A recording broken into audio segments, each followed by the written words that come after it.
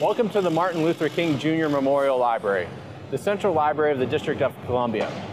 We're about to take a tour of this 400,000 square foot facility, and we'll also be able to get an insight of why this building is in need of a major renovation. We're now standing in the Great Hall of the MLK Library. This Great Hall, along with the exterior of the building, is part of the building's landmark designation and will be protected as part of the renovation efforts. This space also houses the large mural that was done in honor of Dr. Martin Luther King by artist Don Miller. In 2013, we made some improvements to the Great Hall and to what was formerly known as the Business Science and Technology Division and created the Digital Commons.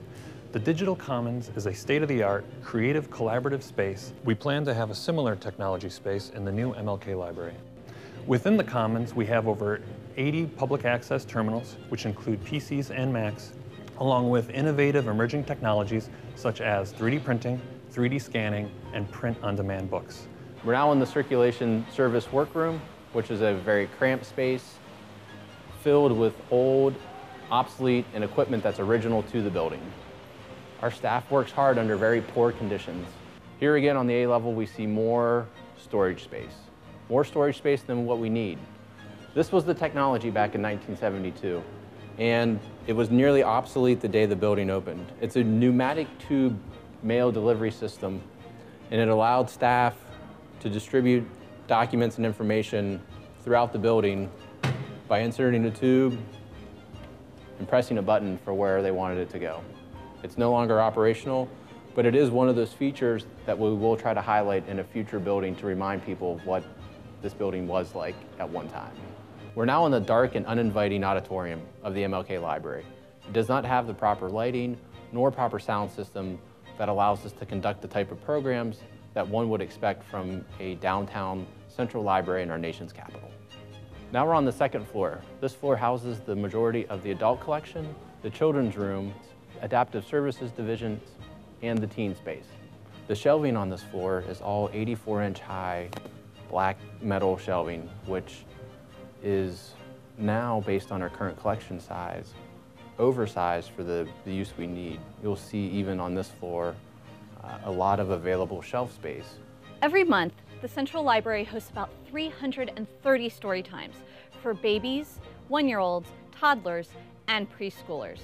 The Early Literacy Room is just next to it. It was opened in September 2013. The room is stocked with plenty of toys, stuffed animals, and even dress-up clothes, which allow the kids to fuel their imaginations. Imagine what we could do if we had even more space. We're now on the third floor, which contains a mix of public spaces and staff work areas. We're standing outside the Washingtoniana room, which is the largest special collection at the library. And Lektrievers were state-of-the-art when we opened in 1970, and the Washingtoniana room, I think, has eight to 10 of them.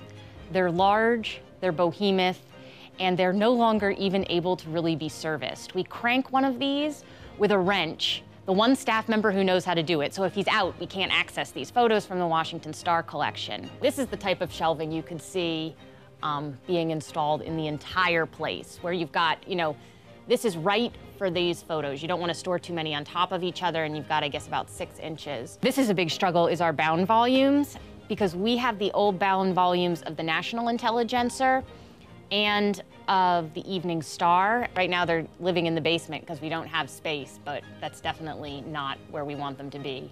We want the whole collection together and we want it on shelving that is the right size and shape for the materials. My vision for new space I mean, first, I just want to see seas of gray archival boxes and materials being stored properly.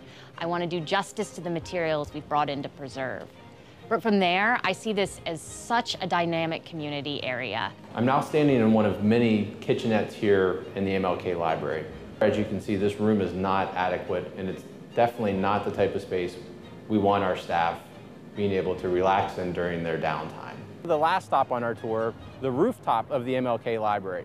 This is a part of the building that the general public does not have access to, but in a future MLK library, we envision the public being able to enjoy this space and the views of the cityscape surrounding. This is also the spot of the building where we picture the ability to add additional floors. I would like to thank you for joining me on this tour of the MLK Library, and we hope for your input moving forward on this project.